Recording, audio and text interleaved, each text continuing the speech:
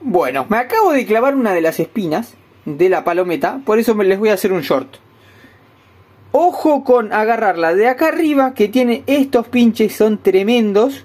Pero esos son visibles. Los más difíciles de ver son los que tiene acá abajo, que son dos.